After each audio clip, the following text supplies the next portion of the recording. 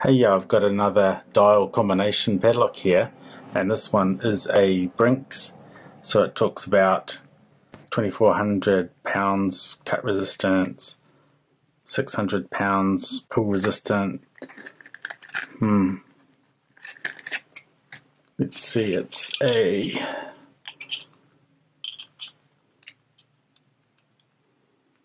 about a 7 mil shackle. I've uh, picked this one before. I forget what the combination is. So it's got the keystone pattern here at the top, but no white circle around like when you see one of the other cheap padlocks like this. It has the white circle around the dial as well as the keystone. This has the keystone symbol. It's a little bit flatter but no white circle.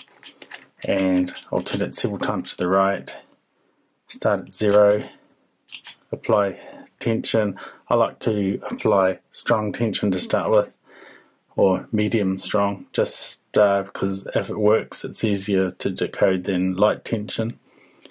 Okay, so this, see, see what happens. Yep, this is one of the ones that clicks into every number, so it's more similar to a master lock than a than one of those cheap ones because clicks into every did I say every number? Every two or three numbers.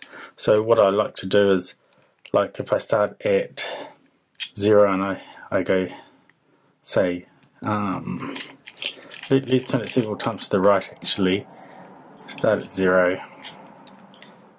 Okay, so the first number after zero is between two and three, and that's about one one number of distance uh, of play. It with tension on the shackle it doesn't want to come out of there between numbers 2 and 3 okay next one clicks into 5 and 6 about that's about one number of play.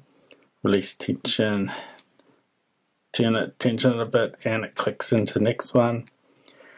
So that's hmm, okay so that's about eight, eight and a half to nine and a half, so that's about one number of play again. So I'm just going to keep doing this.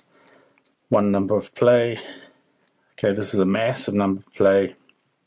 15 to 17 nearly.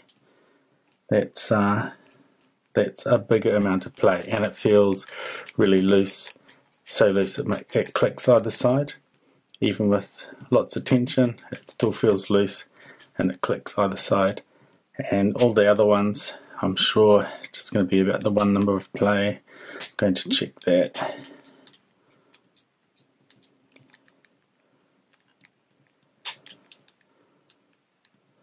Yeah, um, what did I say it was? Around, around about the 16. So 16 is our last number. Can we find the first number?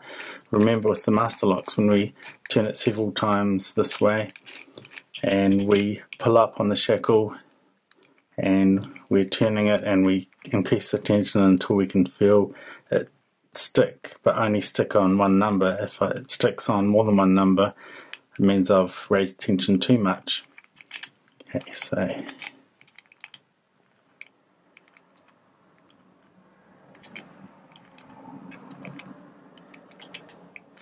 sort of sticking on, um, sort of bumping against several numbers.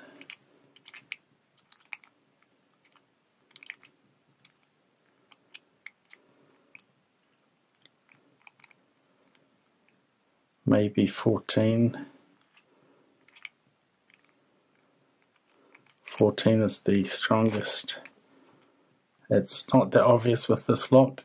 I'm going to start with 14 and I'm going to turn it one full revolution past 14. I'm going to increase tension. Okay, that's our last number. I'm going to turn it beyond the last number and then I'm just going to see which one works. So I'm going to go, um, I'm sort of just going to go up sort of two numbers at a time. So um, like 22, 16, 24, 16, 26, 16, 28, 16, 30, 16, 32, 16, 34, 16,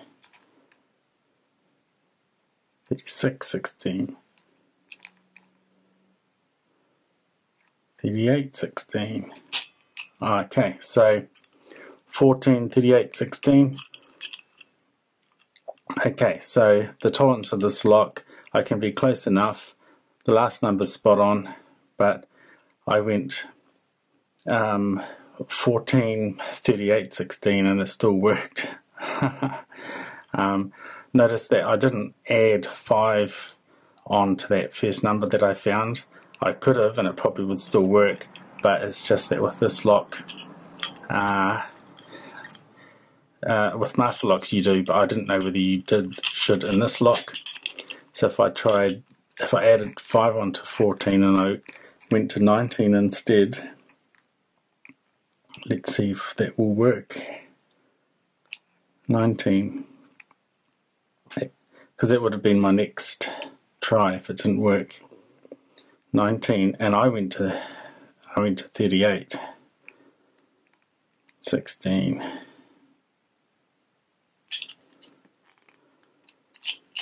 and it and it doesn't work so lucky I didn't add 5 onto it.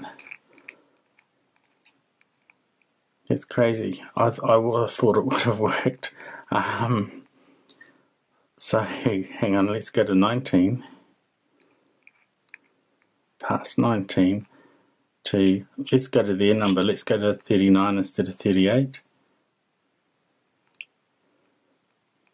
And then back to 16. No, it doesn't open. So looks as though 19 is one number too much. The 18 is right, must be right on the edge where 14 to 14 to 18 works because there's the tolerance of this lock. Obviously, uh, four numbers work. But um, yep, adding five onto it doesn't work with this lock because it's not a master lock. Thanks.